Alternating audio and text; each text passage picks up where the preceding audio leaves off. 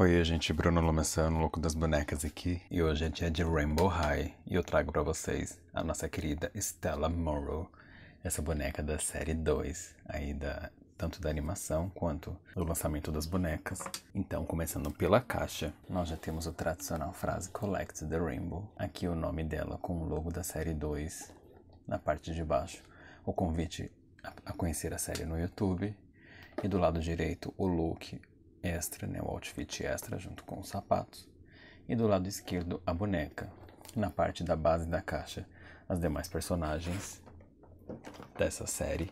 E se você não viu, eu vou deixar listados aqui uma playlist para que vocês conheçam um pouco mais. E o verso da caixa é aquele corredor da escola que nós já conhecemos. E agora eu vou removê-lo e já volto. Bom, galera, e voltei com a Estela fora da caixa. É, inicialmente eu não falei, mas eu acho que vocês percebem que a cor predominante dela esse rosa mais pink. Começando o review pelos acessórios. Nós temos o tradicional pente na cor da personagem, os clássicos cabides também, esse tom de rosa bem pink. E bom, em relação à boneca, como vocês podem ver, eu coloquei o suporte dela aqui na região dos joelhos, porque como ela vem com esse casaco, ele é bem volumoso, é muito difícil colocá-lo aqui na região do tronco, né, da cintura da boneca.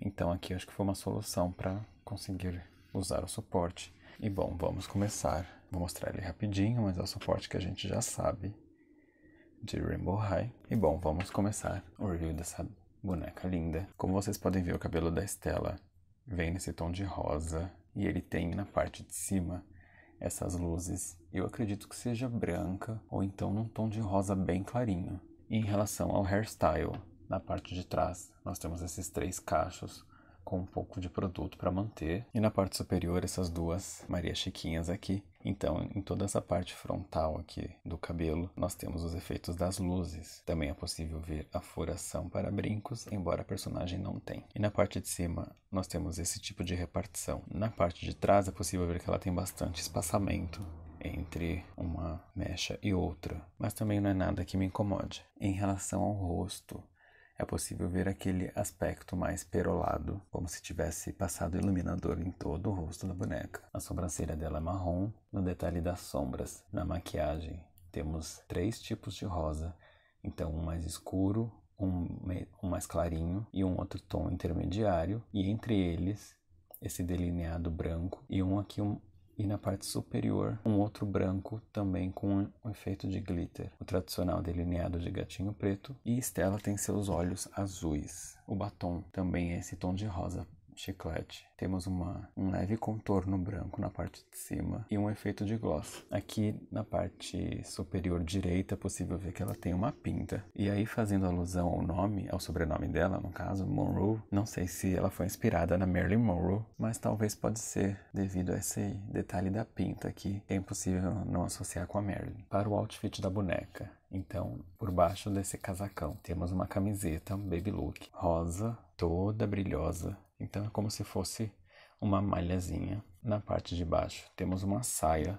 com esse material fazendo alusão a um couro e temos todos esses recortes como se ela fosse cortada a laser e em alguns locais específicos temos essas pedras cravejadas. Por baixo nós temos uma saia no mesmo material da, do Baby Look e ambas têm o um fechamento por velcro na parte de trás. É impossível não reparar nesse casaco de pelúcia rosa incrível. E ele tem todo esse detalhe, como se fosse uma corrente preta com detalhes dourados bordada, como se estivesse amarrando essa parte do casaco.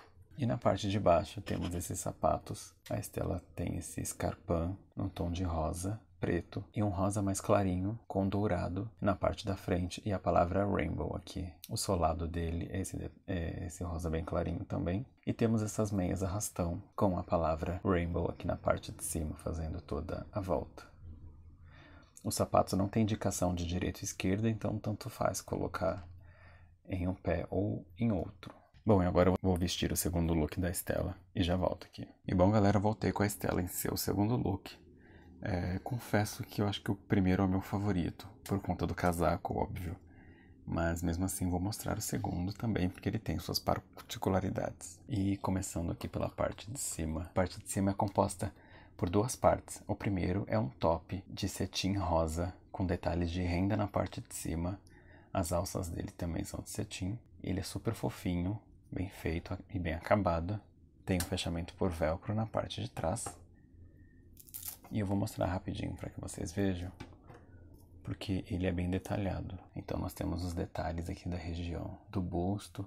É aquilo, o simples, porém bem feito. E por cima dele temos essa camisetinha de tule com um detalhe de poá dourado. Então como se fossem várias bolinhas em cima desse tule branco, trazendo esse ar aqui, ao meu ver, super romântico para a personagem. Eu gostei bastante. E na parte de baixo nós temos uma saia no modelo mais evasê, nessa parte de cima de um tule rosa, bordado com paetês rosas também. Eles têm um efeito um pouco holográfico, muito legal. E por baixo dessa saia nós temos uma outra, um pouco mais justa ao corpo, no material que lembra um poliéster e também tem um fechamento por velcro na parte de trás. E os sapatos, temos essas sandálias lindas com esse detalhe no tornozelo em dourado e aqui também. E na parte das tiras, várias pedrinhas douradas, como se fossem cravejadas. Temos o detalhe do salto e da meia pata, que são pretos. E diferente dos escarpãs, estes sim, eles têm indicação de direito e esquerdo, no qual nós devemos vestir sempre as fivelas para o lado de fora. E um outro detalhe que eu não mostrei. A Estela tem suas unhas pintadas de branco, também é muito fofo. E já vou mostrar as articulações dela que são aquelas que nós já conhecemos, da cabeça para os lados, dos braços, a rotação na região do ombro, cotovelo, pulsos, as pernas na região do quadril, aquele interno de coxa e o joelho naquela amplitude um pouco maior. E bom, gente, esse foi o review da Stella Morrow, essa personagem da segunda série de Rainbow High.